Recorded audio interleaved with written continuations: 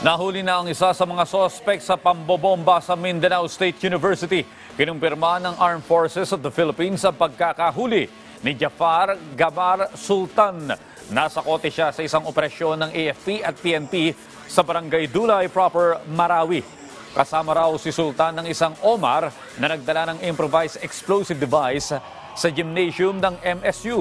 Apat ang namatay sa pagpapasabog sa Marawi habang higit 70 ang sugatan.